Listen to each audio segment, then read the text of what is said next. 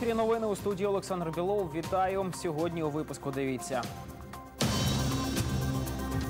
ДРВІН. Друга річниця з дня викрадення члена Всесвітнього конгресу кримських татар. Україна розширила список санкцій. Хто потрапив під обмеження? День 11 або булочки для Путіна. Творчий перформанс на підтримку Сенцова біля стін російського посольства.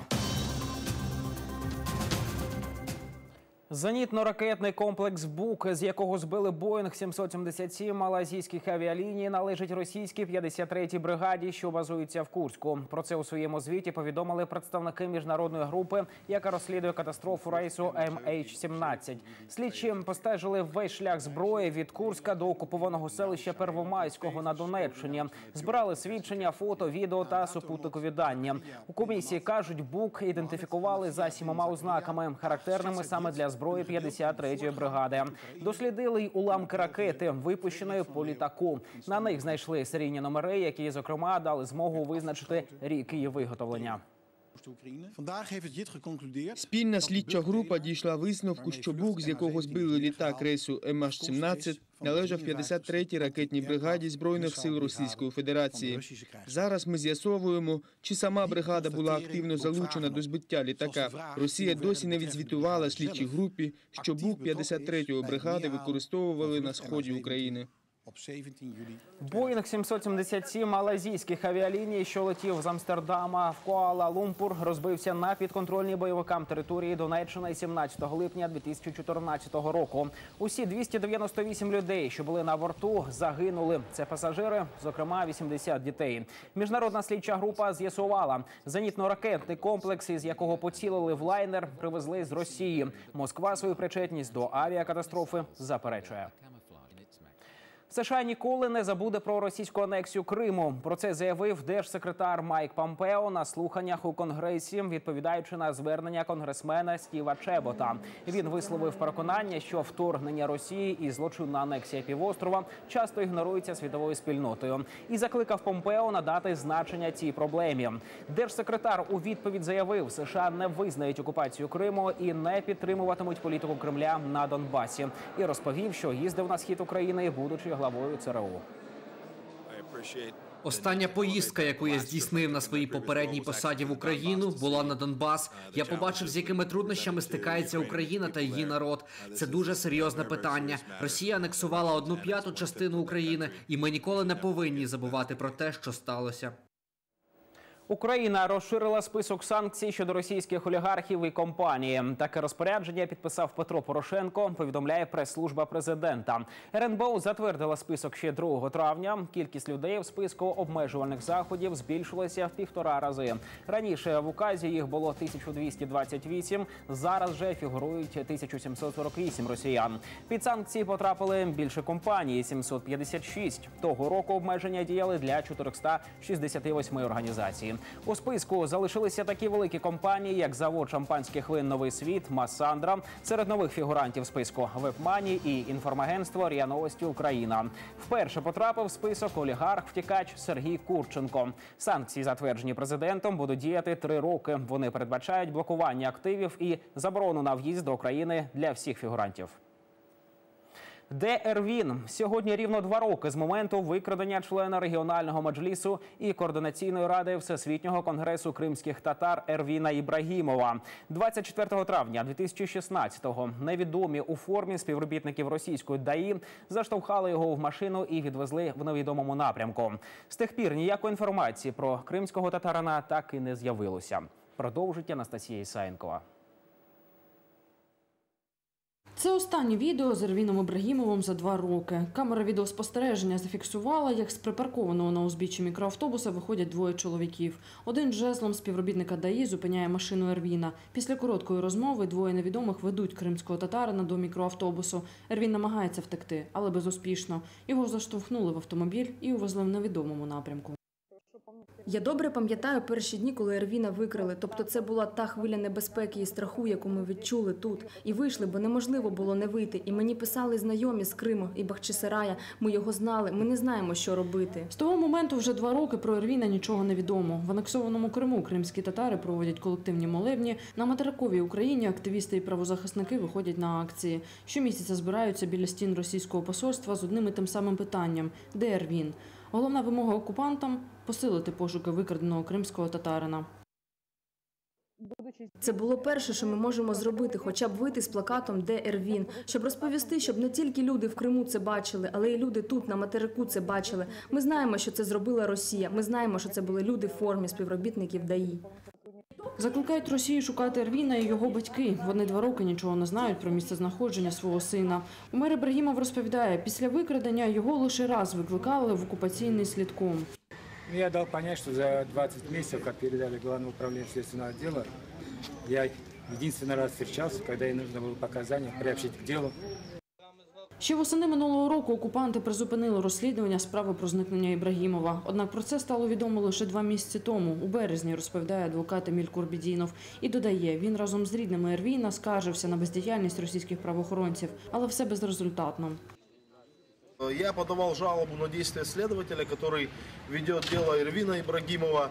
Э, Я подавал жалобу, жалобу на бездействие, вернее, ее, э, в связи с тем, что она не отвечала на адвокатские запросы, не отвечала на ходатайство, не ставила в известность о ходе э, значит, расследования ни меня, вот, ни Умерага. Незважаючи на відсутність звісток, рідні Ервіна не втрачають надію на його повернення. А у всесвітньому конгресі кримських татар на кожному засіданні залишають порожнє місце для Ервіна. Анастасія Санькова, новини ЮА Крим.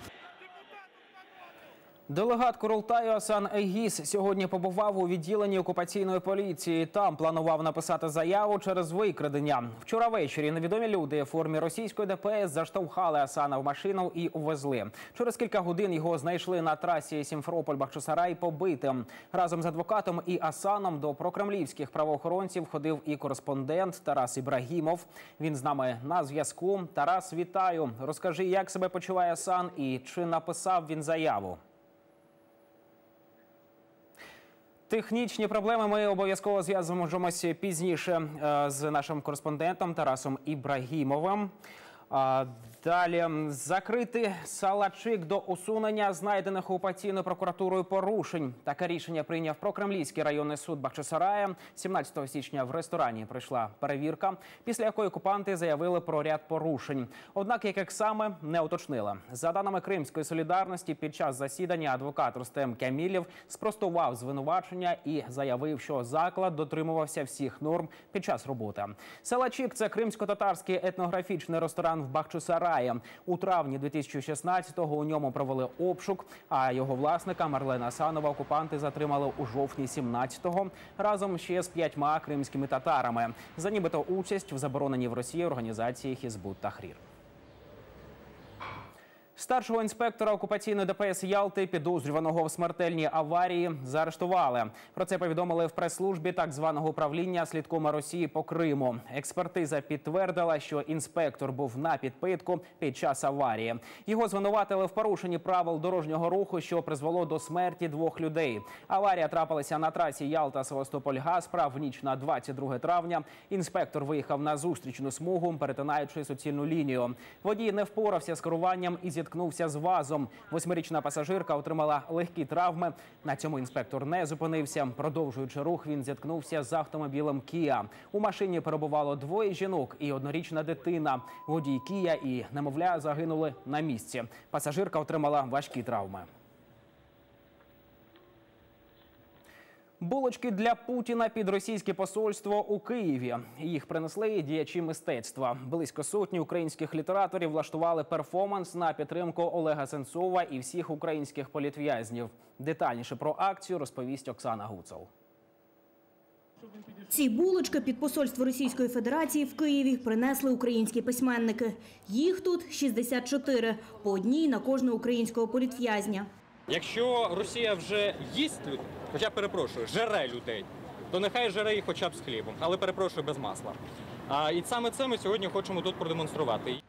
Учасники акції беруть по одній булочці, поміщають всередину неї маленьку паперову людину, символ політв'язня, і ставлять в кошик.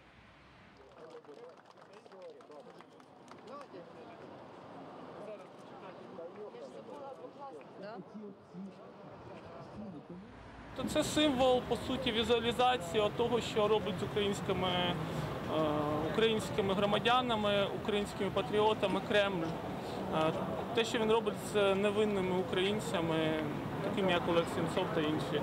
Акція проходить в 11-й день голодування Олега Сенцова. Діячі культури, які прийшли підтримати в'язня совісті, говорять, вони борються за Олега, адже він, голодуючи, бореться за всіх політв'язнів.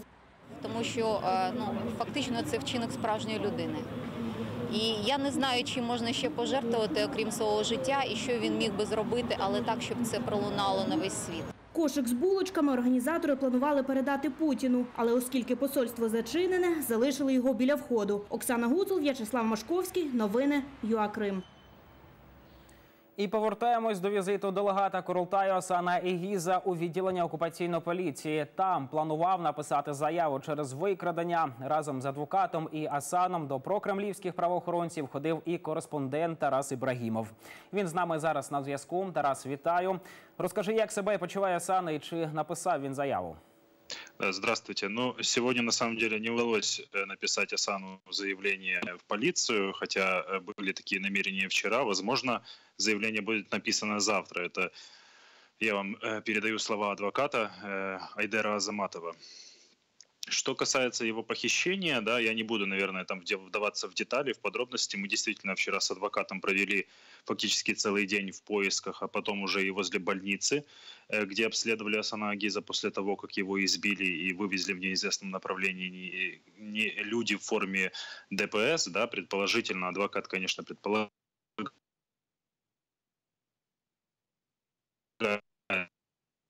Зі зв'язком дякую, Тарас. З нами був на зв'язку наш кореспондент зі Сімферополя Тарас Ібрагімов. Він розповів про візит до окупаційної поліції делегата Курултаю Асана Егіза. Вчора його викрали невідомі. Через чотири години кримського татарина знайшли побитим. Міністерство закордонних справ України висловило свій протест. У відомстві повідомили, що звертатимуться до міжнародного суду ООН за фактом викрадення Асана Егіза. На цьому я прощаюся з вами. У студії був Олександр Білов. Дивіться нас по буднях і підписуйтесь на UA Крим Фейсбук. О 20.40 зустрічайте у цій студії Мідата Халілова з випуском новин кримсько-татарською. Гарного вечора.